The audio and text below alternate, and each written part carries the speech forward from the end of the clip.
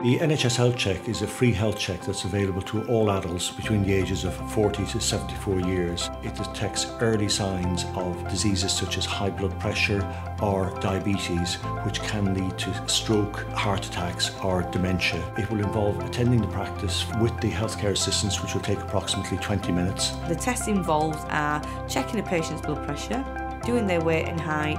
We also do a waist measurement we usually take a blood test for cholesterol. The rest of the part of the test then involves lifestyle, talking about exercise, dietary things, and encourage them to really look after themselves. My invitation for NHS Health Check was a letter through the post. The whole experience, everything was relaxed. Overall, we're trying to encourage people to look after themselves so that these risk factors don't happen. It's made a lot of difference to my life. I've gone down from a dress size 18 to a size 14 and you get more energy in yourself and you feel better and confident in yourself as well.